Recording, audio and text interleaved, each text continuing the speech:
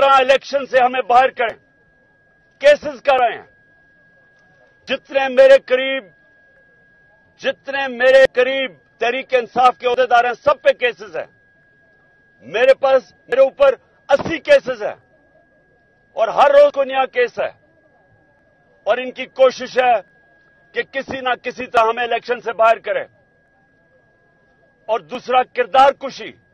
हर किस्म की किरदार कुशी इन्होंने की है।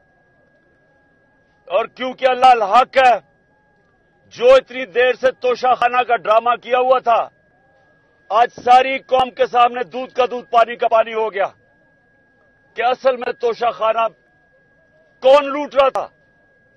और अभी एक और चीज़ होने वाली है, जो हमारा पार्टी का फंडिंग केस था, जिसको फॉरेन फंडिंग कहते थे, जैसे ही पता चलेगा कि नून लीग और पीपल्स पार्टी की फंडिंग सामने आएगी।